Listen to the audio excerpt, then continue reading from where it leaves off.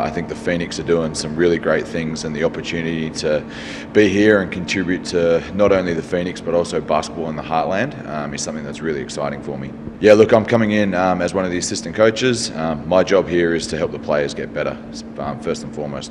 Whether that's on the court, working them out um, in their in their vitamin sessions, whether it's doing film review, helping them with their scouting, or um, reviewing the way that they've played, or um, also, you know, helping Mike and Sam um, with the with the day to day and the game planning and things like that. So I'm here really essentially to help the players and help this team get better and win games. Yeah, I was really lucky um, at Perth. I've been with Perth for four years, um, and the last two years got to spend them with Mike. Um, a guy like Mike Kelly, who's a legend of the game, is a wealth of knowledge, and so I was lucky enough to spend two years with him as an assistant coach in Perth. And then when he came calling saying to come jump on board here, it was a no-brainer for me um, to continue continue to learn and continue to work with him. Was lucky enough to be a part of um, two championships in Perth, um, one as an intern, one as an assistant coach.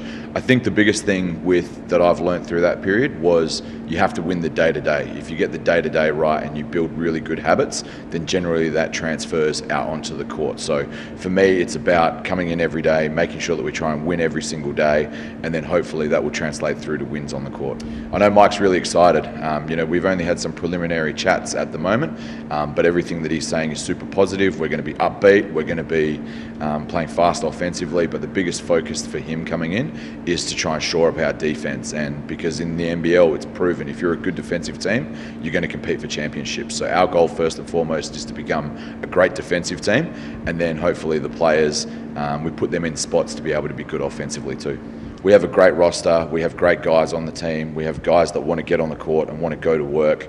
Um, and for me, I'm excited to get to know them all. I'm excited to um, get to work with them on the court. And if we can help them become better players, then we're doing our job as well. So I'm excited about all of them.